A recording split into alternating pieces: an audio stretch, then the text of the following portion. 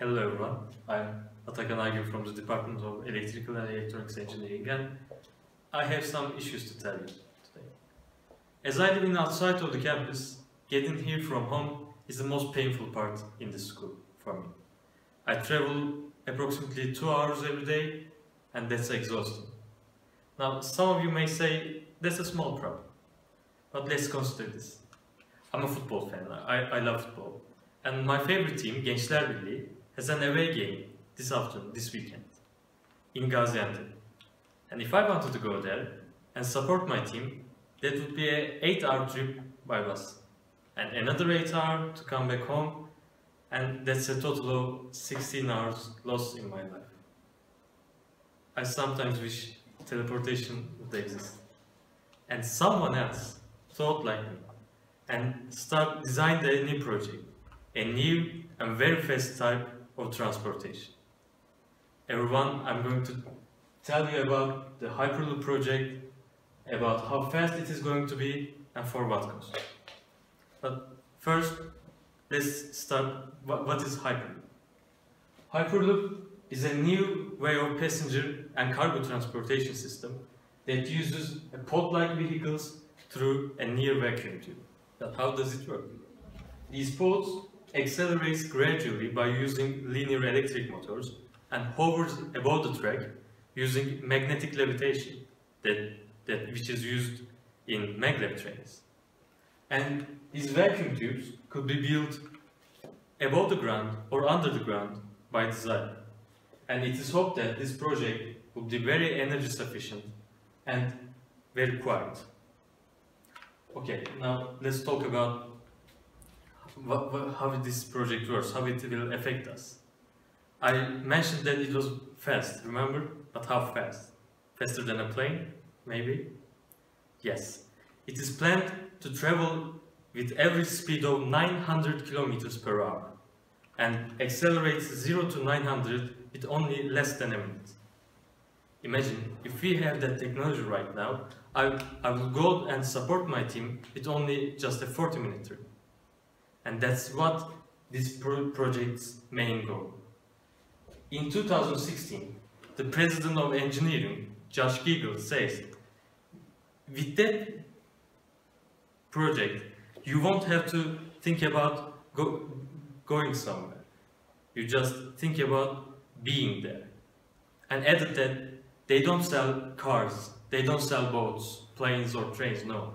They don't sell transportation, they sell time.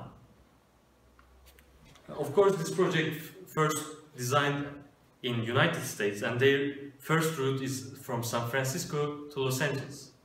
Now let's consider this.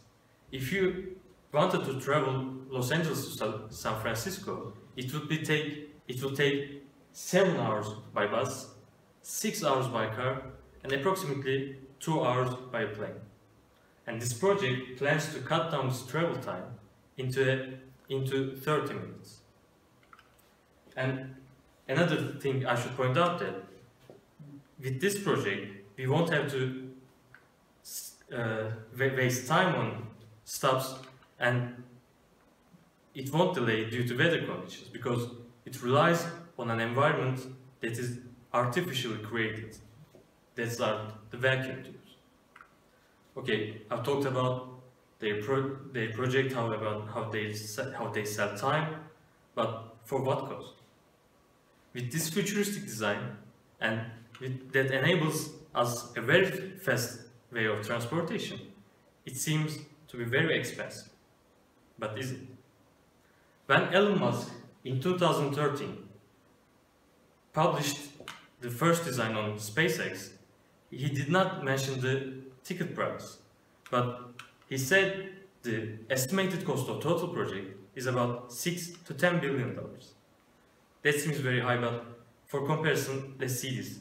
For a, an estimated cost of a Boeing 787 Dreamliner airplane is about 32 billion dollars. But what about the ticket price? Mohammed Imran, in his article published in 2016 on International Journal of Engineering Research, says if they, if they traveled 7.4 million people over 20 years, with the cost of $6 billion, it will give us an approximate price of a of ticket of $20. $20 is great, actually more than a great price for this kind of transportation because if you want to travel San Francisco to Los Angeles by an airplane, it would cost you $150 approximately. And today I've talked about a new kind of transportation that reduces the time we waste on transportation. And in this, nowadays, our world and our technology improves very fast. Time is our most important resource. And with the help of this Hyperloop project, we can use this source more efficiently. Thank you everyone. If you have any questions, I would be glad to answer them. And by the way, you can see my references.